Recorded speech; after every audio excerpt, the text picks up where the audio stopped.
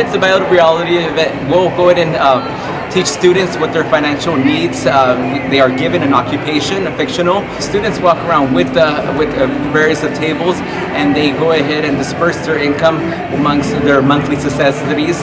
Following after that, they, they visit the credit union, and they go ahead and uh, receive advice from us and seeing if they had if they spent their mind, money wisely.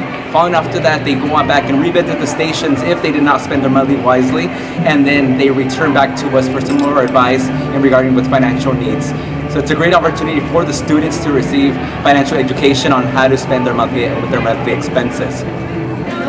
I learned that the it was a good experience that teaches you how you should be prepared um, during your adulthood and that you just gotta save money. No matter what job we have, we will always have trouble with money. We can't always get what we want.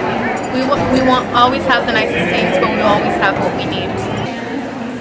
The Bite of Reality has been a great success here at Mendez today. It really impacted our kids because they got to do what their parents do all the time manage their own money, figure out how they're going to survive in life, figure out how they're going to thrive and succeed and save up for college and college and things they need.